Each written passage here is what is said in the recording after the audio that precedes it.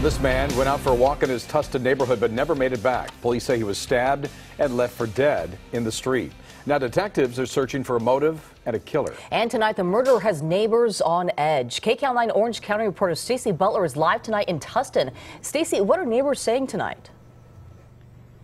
Well, Susie, this has been really unsettling for neighbors. One woman told me that yesterday she was right here. She waved good morning to the victim. And today she saw detectives here and didn't understand why. Well, now we know. They're actively trying to figure out who would kill this guy and why. I'm very, very shocked. One night after this well-liked civil engineer was found stabbed to death on a busy street several blocks from his Tustin condo. Neighbors are trying to understand who would murder 62-year-old David Nikaki. Think he was targeted? I don't think so.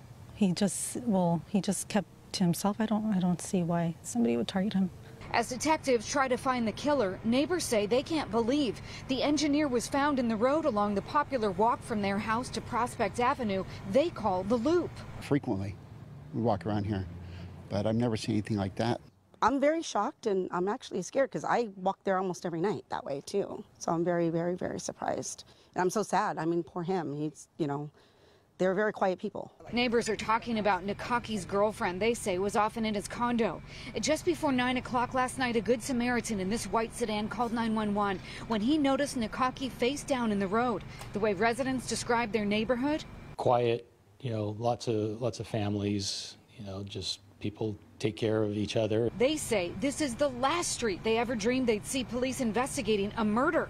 Detectives say the suspect is still out there. That part's kind of a little bit frightening. Scary. I got to be on the lookout. So, of course, the two big questions was this just a crime of opportunity or was he indeed targeted? And that's a question that detectives need your help with. If you have any information, you are urged to contact the Tustin Police Department. Back to you guys. A sexual